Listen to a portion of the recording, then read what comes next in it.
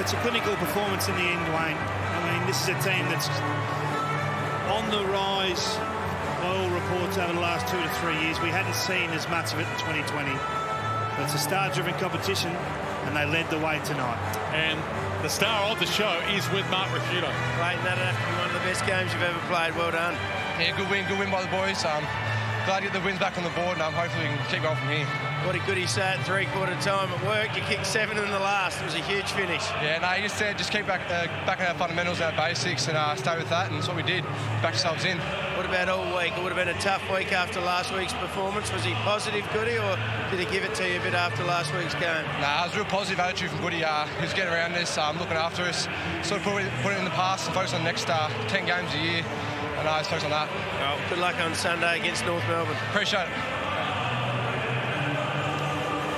Well, you were praising him early. You saw it coming, Kingy. You read exactly what he was doing early, and he parlayed that into one of the great games of the year. Well, fundamentally, every player is trying to be a better version of themselves every year, Dwayne. And I just think Clayton Oliver's got the contested possession game covered. His ability to get hands on ball is as good as anyone in the competition. The, the next phase of ensuring that his possession ends up on the scoreboard, I think we saw tonight. He's burst from stoppage. He, he, put his head down. He took five quick steps every time he got the ball. And that become taking the inside game to the outside game. And that's where the damage comes. And I think Melbourne are a different team if they can get Petrarca, Oliver and Viney in that frame of mind.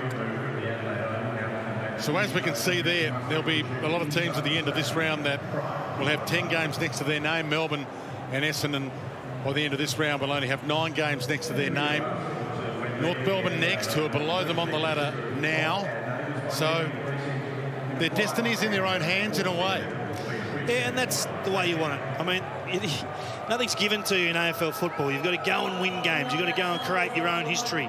And that's what these guys are trying to do.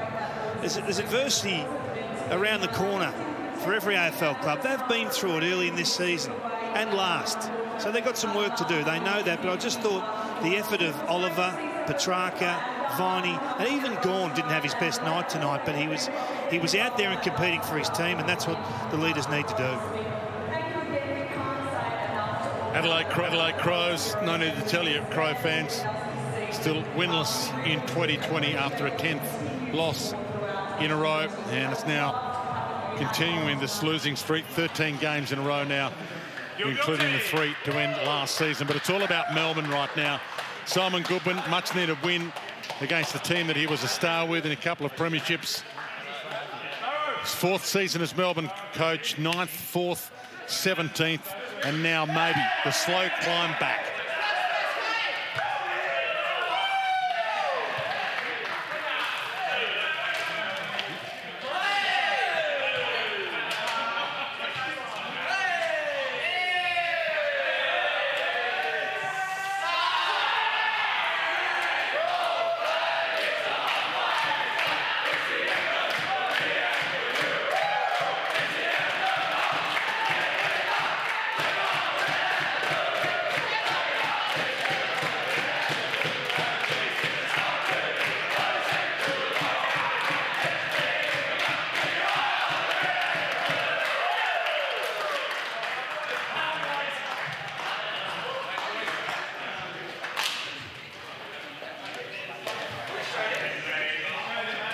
Great to see the emotion.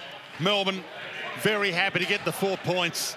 13 10 88 to 5 7 37. A 51 point win in the end, Eddie. Yeah, very much so, Dwayne. Good win in the end. They were 12 points up at half time, though. They're four points up at quarter time. Uh, uh, sorry, four points at quarter time, five at half time, 12 at three quarter time, and then 51 points. They needed to have an emphatic win. They got it, Melbourne. They got it through their players that they wanted to step up to the plate and play well.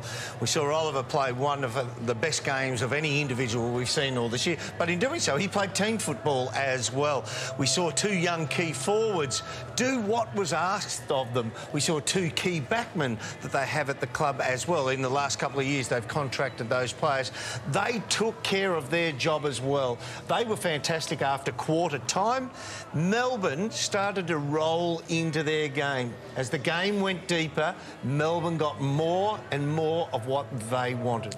David King, if Melbourne are going to be a side, the man who's going to lead them there, Clayton Oliver, put on a clinic tonight.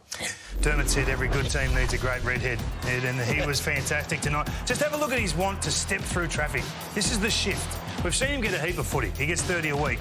But tonight it was 30 with power and with damage. And I think if he can take the ball from inside the contest to out, look at this one. Bang. This is great. Gone.